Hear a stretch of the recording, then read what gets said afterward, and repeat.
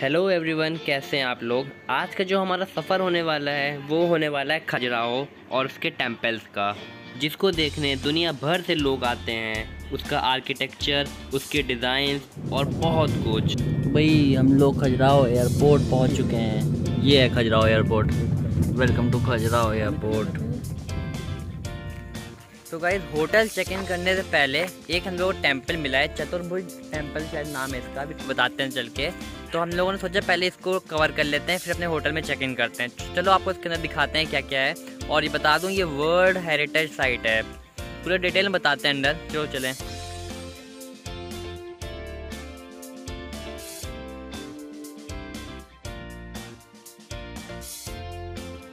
चतुर्भुज टेंपल हमारा हिंदू टेंपल है, जो कि भगवान विष्णु को डेडिकेटेड है। ये टेंपल हमारा डिस्ट्रिक्ट छतरपुर खजुराहो में बना हुआ है और इस टेंपल को जटाकारी टेंपल भी कहा जाता है, क्योंकि ये टेंपल जटाकारी गाँव में बना हुआ है। इस टेंपल को सदन ग्रुप ऑफ़ टेम्पल्स भी कहा जाता है, क्योंकि ये खजुराहो के साउथ पार्ट में बना हुआ है। और इस टेंपल को चंदेला रूलर्स द्वारा 1100 एडी में बनाया गया था। ये टेंपल वर्ल्ड हेरिटेज साइट में भी आता है। इस टेंपल की नक्काशियाँ बहुत ही ज़बरदस्त हैं, जिनको आप देखते रह जाएँगे।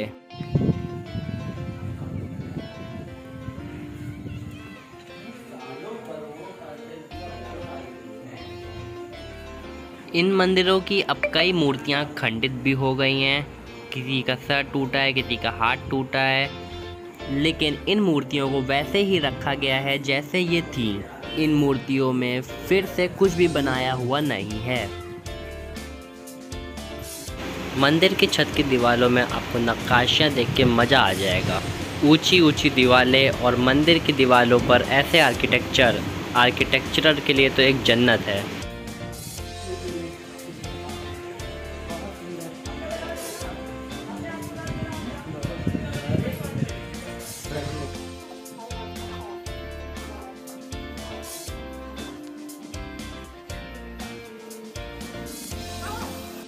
इन मंदिरों की बाहरी दीवार में भी इतनी प्यारी नक्काशियाँ बनी हुई हैं कि आपको मैं बता नहीं सकता।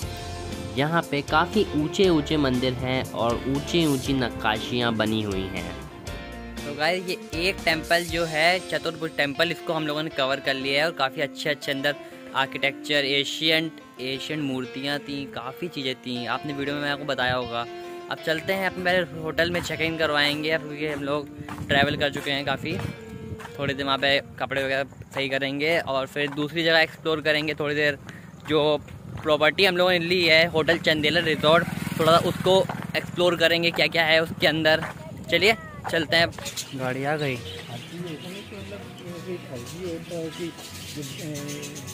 चलो। दोस्तों हम ये एक मंदिर और एक्सप्लोर करने आ गए हैं। पार्किंग लगती है। यहाँ का पार्किंग का थोड़ा अलग स्कीम है। यहाँ पे मतलब एक बार में आपसे पचास रुपये ले लेंगे और आपको वो पूरे दिन तक जहाँ भी आप खड़ी करेंगे, कोई बस पचास रुपये देने, बस। ये समझ लीजिए, जहाँ भी पार्किंग लगाएँगे, वो पर्ची दिखा लीजिए, बस काम खत्म। फिर एक बार आपको सुबह जल्दी आप जितने बजे जाओ, एक दिन में मतलब एक पर्ची पचास रुपये कटवानी पड़ेगी और वही पूरे दिन पर्ची आपकी चलेगी। ऐसा नहीं कि हर जगह अलग अलग पर्ची कटवाओ, अलग चार्जेस दो, ऐसा कुछ नहीं है। यहाँ पीछे एक कमल की बहुत बड़ी लेक है यार। अब हम तो चल रहे हैं मंदिर की ओर, चलो दिखाते हैं आपको कैसा है मंदिर। दोस्तों, ये जगह है, ये वेस्टर्न ग्रुप ऑफ़ टेम्पल्स है। ये जगह आपको आगे जगह दिखाते हैं, ये जगह भी काफ़ी अच्छी है। इसको मतलब वेस्टर्न ग्रुप ऑफ़ टेम्पल्स बोलते हैं, जगह को।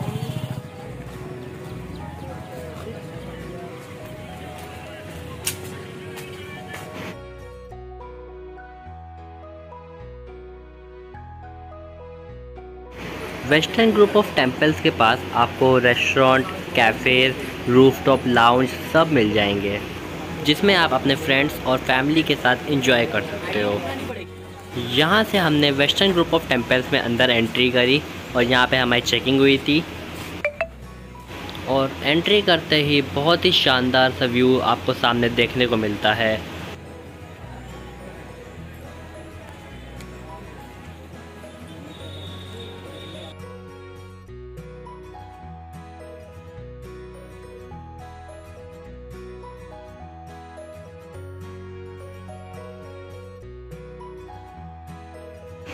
वेस्टर्न ग्रुप ऑफ़ टेम्पल्स बहुत बड़ी जगह पे फैले हुए हैं और इस पूरे मैदान के अंदर लग बहुत सारे टेम्पल्स हैं। जल्दी।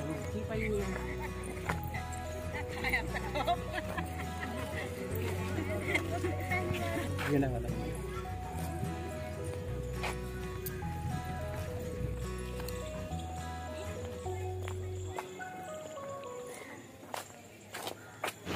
हमारे सामने वरा मंदिर है, जिसके अंदर गेंडा बना है और इस गेंडे में इतनी सारी डिज़ाइनें हैं। अभी आपको सब दिखाते हैं।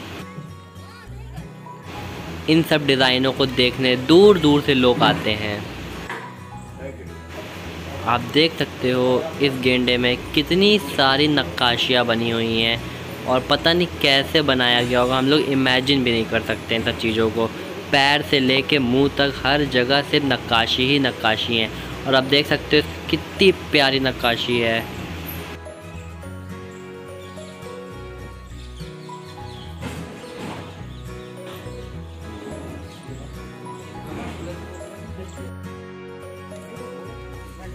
लेकिन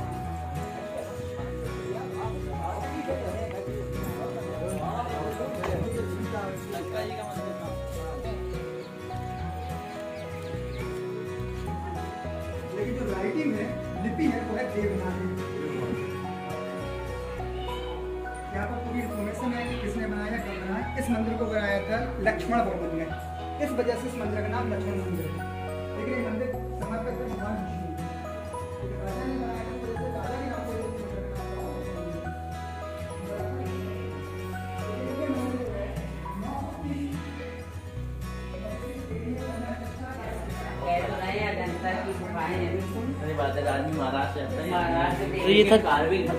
ये ऐसे थोड़ी ना बनाए थोड़ी नहीं जाते। हैं ये पत्थर होते चट्टान उस पे ऊपर से सिर्फ़ कटिंग होती चली जाती है। अरे ये मूर्ति कैसे उखाड़ी है यार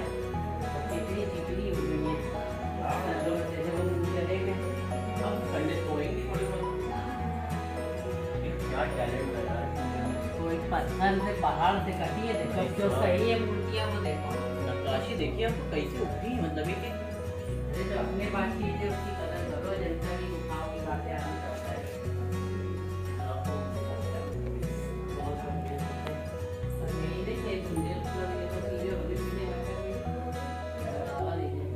मतलब ये तो है कदर करते हैं तभी फॉरनर भरा रहता है यहाँ पे।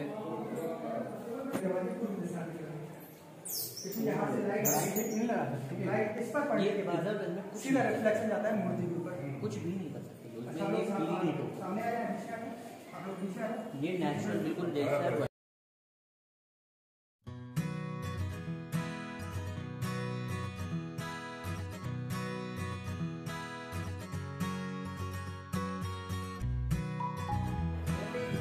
दोस्तों यार पीछे देख सकते हो कितने अच्छे अच्छे यहाँ पे आर्किटेक्चर कितनी अच्छी अच्छी डिज़ाइनें बनी हैं। मतलब दीवारों में इन्होंने कैसे पता नहीं कैसे बनाया लेकिन कितनी मस्त डिज़ाइनें बनी हैं।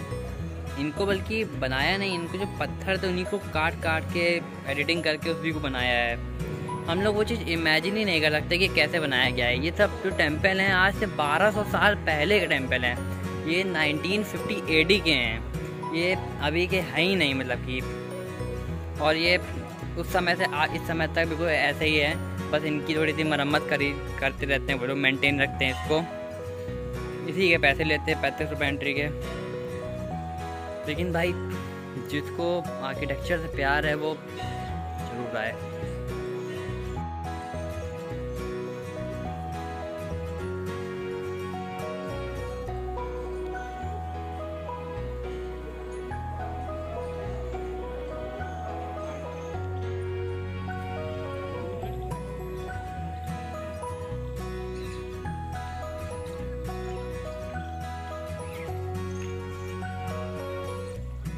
खजुराहो अपने आर्किटेक्चर के कारण पूरे इंडिया का पॉपुलर टूरिस्ट डेस्टिनेशन बन चुका है। खजुराहो चार ग्रुप्स ऑफ़ टेंपल में बटा हुआ है। Eastern group of temples western group of temples southern group of temples and Kandariya group of temple दोस्तों, ये टेंपल खजुराहो का सबसे फ़ेमस टेंपल है और इसको देखने भाई ज़रूर जाइएगा। क्योंकि आप इतना घूमने के बाद थक जाएँगे और बहुत लोग यहाँ पे नहीं जाते हैं। लेकिन यहाँ पे जाइएगा ज़रूर, क्योंकि यहाँ पे बहुत मस्त मस्त नक्काशी अंदर हैं। ये टेंपल खजुराहो का सबसे बड़ा टेंपल है, जो कि लॉर्ड शिवा को डेडिकेटेड है। इस टेंपल की हाइट 31 मीटर्स है। कंडरिया महादेव टेंपल खजुराहो का सबसे बड़ा, ऊँचा और बहुत ही सुंदर हिंदू टेंपल है। इनकी दीवारों पर आपको नक्काशियाँ देख के मज़ा आ जाएगा। जितने जहाँ टूटे इधर है वही उतने टूटे इधर हैं और जो ये मंदिर था इसमें शिव शिव जी का लिंग था। शिव जी बड़ी वाले थे। रोशनी केवल शिवलिंग में पड़ रही थी। हाँ, सब मंदिरों में पड़ रही थी। केवल बहुत ऊपर था तुम बहुत अच्छा। मेन वही शिवलिंग का तो रहा है बड़ा शिवलिंग। सब मंदिर में चारों दिशा में बिल्कुल सेम देखिए मैं कितनी बड़ी फ़ोटो अच्छा अच्छा तो चारों दिशा में बिल्कुल जब के मंदिर बने और जितना यहाँ बस ये गुम्बदें चेंज है। हाँ वो वही नागा शैली और वो वाली शैली के सब अलग अलग बने। दोस्तों इतने मंदिर देखते देखते हम लोगों का टाइम निकल चुका है। छः चालीस होने को आ गया है। अब गार्ड सिटी हो जा रहा है क्योंकि मंदिर का टाइम हो गया बंद होने का।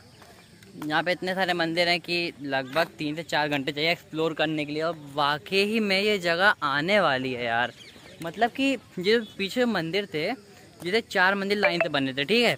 और इन चारों मंदिर में जैसे कि एक जगह, एक मूर्ति जिस एंगल में टूटी है, वही सेम तीनों मंदिर में जो अलग अलग मंदिर है, वहाँ सेम टूटी है। समझ रहे हो ना आप बात को? और जैसे जो शंकर जी का शिवलिंग है, सिर्फ़ शिवलिंग में एक लाइट पड़ रही है और कहीं नहीं पड़ रही है। अब ये सब चीज़ें हैं ये सब पता है ये सब कोई मैजिक नहीं है ये सब एक उनका आर्किटेक्चर का ढंग है। हम लोग नहीं समझ सकते ये सब चीज़ें बारह साल पहले की ये सब चीज़ें थी। भाई मैं तो ऊपर गया नहीं पापा गए थे मेरे तो वो बता रहे थे। और सोच के लगता है कि कैसे इन सब चीज़ों को डेवलप किया था। अब इस इस, इस वाले में जाएँगे ऊपर देखते हैं इसमें क्या है। अच्छा सूर्य भगवान की मूर्ति है इस वाले में। और भाई, अब इसमें थोड़ी सी गर्मी लगने लगी थी, थोड़ा वीडियो बनाने का मन नहीं कर रहा था। बहुत दोस्तों, अब मैं जो आपको टेंपल एक दिखाने वाला हूँ, भाई उसको टेंपल नहीं बोलेंगे। अब जो आपको मैं आर्किटेक्चर दिखाने वाला हूँ, भाई उसको आप लोग क्या बताऊँ? इसमें सामने मंदिर भी है, मस्जिद भी है, गुरुद्वारा भी है। अब आप ध्यान से देखिएगा। और शायद आप समझ गए हो अब कि इसको एक्सप्लेन करने की ज़रूरत नहीं है भाई। मंदिर, मस्जिद, गुरुद्वारा। भाई, इसके लिए कोई शब्द नहीं मेरे पास। क्या बोलूँ यार? अब बताओ, इतनी बढ़िया बढ़िया मतलब आर्किटेक्चर है यार, ऊँची ऊँची देखो मतलब कि क्या ही बोलो। मतलब कि देखो यार, छोटे छोटे, देखो देखो कैसे बिल्कुल छोटी छोटी जगह पे कैसे बनाया गया है। तभी तो इसको वर्ल्ड हेरिटेज साइट बोलते हैं। वाकई में वर्ल्ड हेरिटेज साइट है। पूरे वर्ल्ड में ऐसी कोई जगह नहीं मिलेगी। वो बहुत ही ब्यूटीफुल सनसेट हो चुका है। बस थोड़ी थोड़ी किरणें बची हैं।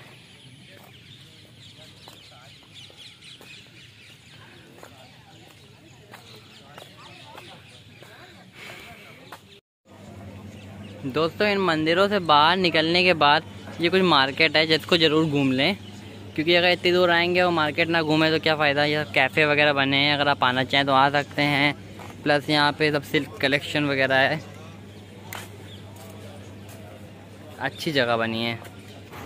मंदिर से बाहर निकलने के बाद आपको थोड़ी बहुत शॉप्स दिखेंगी, जहाँ पे आप कपड़े, कुर्ते वगैरह भी खरीद सकते हो।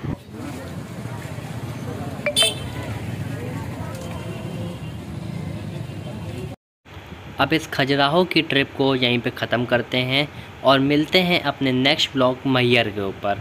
अब हम अगला ब्लॉग हमारा मैयर का अपलोड होने वाला है, इसलिए आप चैनल को सब्सक्राइब कर लीजिए ताकि आप वो वीडियो मिस ना करें।